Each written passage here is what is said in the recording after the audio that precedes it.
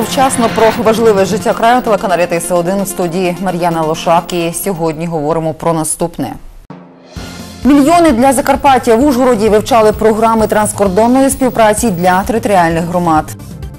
Хата одна, а хазяїв багато. Хто ж справжній власник більше 3,5 тисяч квадратних метрів в центрі Ужгорода? Безпека на дорозі, заміна літніх шин на зимові на часі. Свято для тих, хто за кермом в Закарпатському автодорі відзначили День автомобіліста і дорожника України. Подаруй другу книжку. В Ужгородській школі номер 3 проходить акція зі збору книг для дітей зі сходу України. 25 жовтня з 22 до 24 години буде перекрито перехрестя вулиць Собранецької та Ерделі. На даному відрізку дороги прокладатимуть футляр для кабельної лінії. Крім того, з 25 по 27 жовтня рух транспорту обмежать на вулиці Підгірній. Тут укладатимуть асфальтобетонне покриття. А з 26 жовтня у зв'язку з ремонтними роботами Закарпатгазу буде частково перекрито рух вулицею Собранецькою від Кошицької до повороту на Крилова.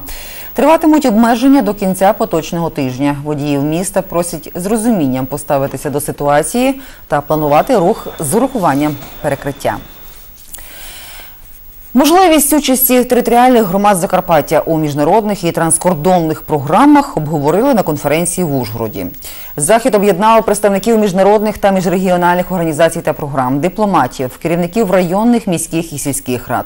Під час конференції вперше презентували нову форму транскордонної співпраці європейське об'єднання територіального співробітництва ТИСА. Подробиць розповість Валерія Турок.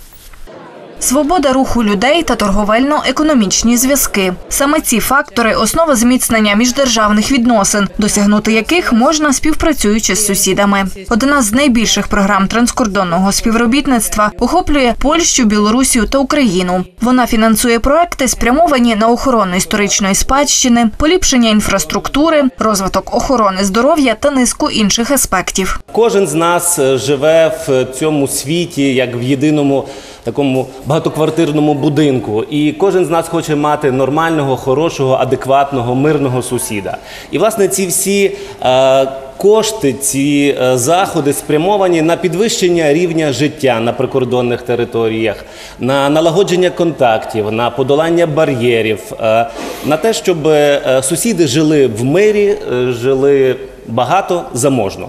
Завдяки програмі Україно-польської співпраці вдалося відновити старовинний комплекс Совине гніздо в Ужгороді та реконструювати льохи в польському місті Ярослав. На черзі нові проекти. Наймасштабніший з них європейське об'єднання територіального співробітництва ТИСА, завдяки якому Закарпаття зможе брати участь не лише у програмах транскордонного співробітництва, але й у грантах, доступних виключно країнам-членам ЄС. Е, Це унікальний проект. Досі цей механізм співпраці був розроблений і доступний лише для країн Європейського союзу. Але ми знайшли законодавчі можливості залучити Закарпатську область до цієї співпраці. Подібних об'єднань на території ЄС 60, 23 з яких в Угорщині. Це перший випадок, коли залучили в цей механізм область країни, яка не входить до євроспільноти. Для Закарпаття це чудова можливість брати участь у грантових проектах та вирішувати проблеми краю. Це новий інструмент співпраці. У рамках ЕГТЦ ТИСА закарпатські фахівці разом з європейськими експертами виділили основні проблемні питання краю і вже почали працювати над розробкою конкретних програм, зокрема в галузі охорони здоров'я. У нас виникли питання і ідеї щодо розвитку страхової медицини, тобто, щоб ми зробили одну лікарню за кошти Європейського союзу на території Закарпаття, повністю її реконструювали і підвели, е, переобладнали під вимоги е, західної страхової медицини. Це дасть змогу нам залучати додаткові кошти. Це дасть змогу нам фінансувати наших лікарів із е, джерел європейських страхових компаній. І це буде перший крок до проведення реальної страхової медицини, добровільної страхової медицини на Закарпатті. Європейське об'єднання територіального співробітництва ТИСА повинне зробити Закарпаття успішним інвестиційним регіоном. Тому фахівці закликають місцеві громади долучатися до співпраці та налагоджувати стосунки з європейськими партнерами. Хата одна, хазяїв багато. Обласна рада профспілок та фонд держмайна вже втретє за цей рік судяться щодо права власності на будівлю в центрі Ужгорода площею понад 3,5 тисячі квадратних метрів. Чаша Феміди схилилася на бік держави, до того ж в судах двох інстанцій. Однак представники профспілок продовжують боротьбу за будівлю, в якій установа перебувала більше півстоліття. З подробицями Вероніка Мороз. Баталії навколо цієї будівлі тривають не перший рік. По один бік барикади незмінно обласна рада профспілок, по інший почергово змінюються Ужгородська міськрада, Закарпатська облрада та фонд держмайна. Саме останній установі таки вдалося довести в судах право власності на чималу будівлю за адресою площа Народна 5. Відсутня приватна, відсутня комунальна власність, відсутня профспілкова і в силу закону підтверджено право державної власності. Ми просто привели це в порядок, де е, реєструємо, скажімо так, е, пройшла перший етап реєстрації майнових прав держави, тобто визнання права за державою на цю будівлю. Закарпатські профспілки подали касаційну скаргу до Вищого господарського суду України. А буквально днями керівник обласної ради профспілок передав прем'єр-міністру Володимиру Гройсману підписи 20 тисяч закарпатських спілчан, які вимагають визнати майнові права за профспілками. В чиїй власності будівля?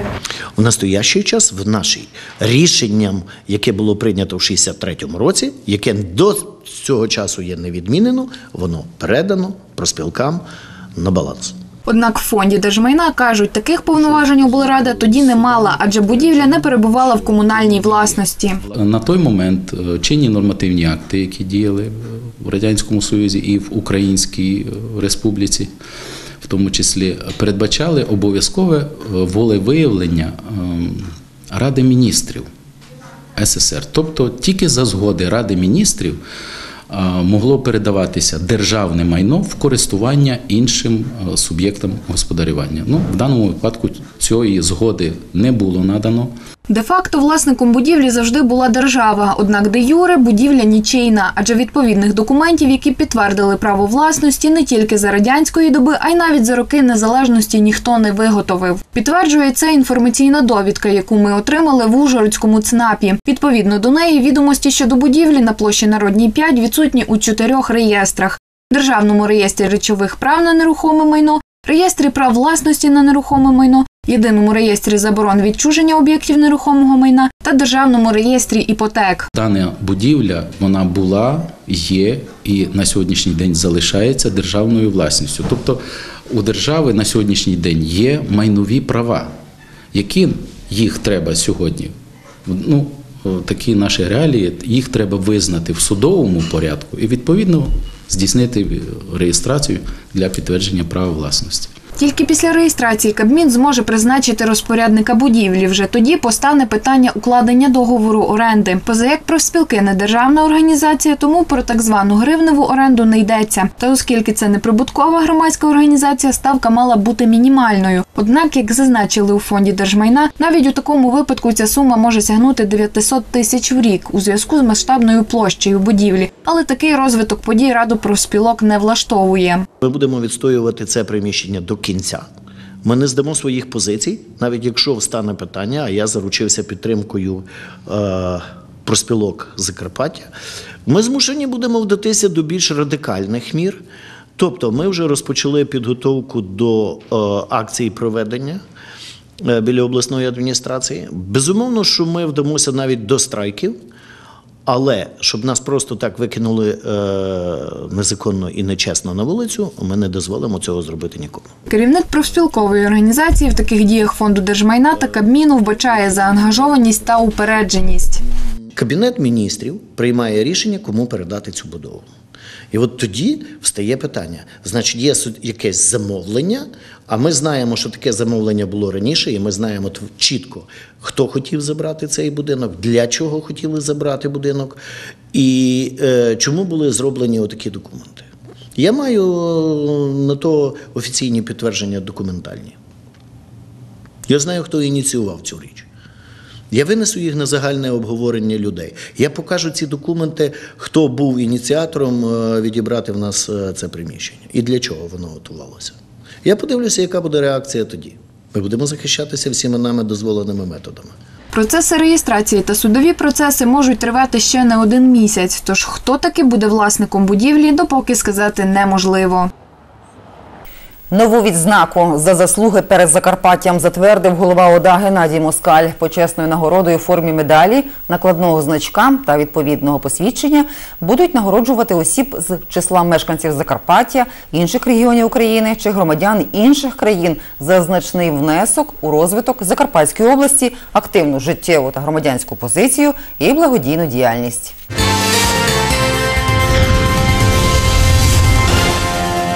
На Воловеччині під час пожежі в деревообробному цеху загинув чоловік. Про загоряння рятувальникам повідомили місцеві мешканці. На місці події працювало 15 чоловік особового складу та три одиниці техніки. Через велику задимленість задіяли також дві ланки газодимозахисної служби.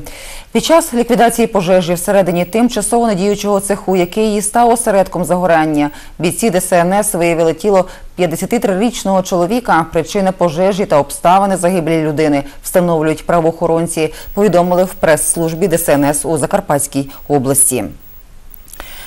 А в обласній службі автомобільних доріг відбулися урочистості з нагоди відзначення прийдешнього дня автомобіліста та дорожника. Свято встановлено у 1993 році. Відзначають його щорічно в останню неділю жовтня. На заході вручили нагороди, подяки та почесні грамоти співробітникам автомобільної служби.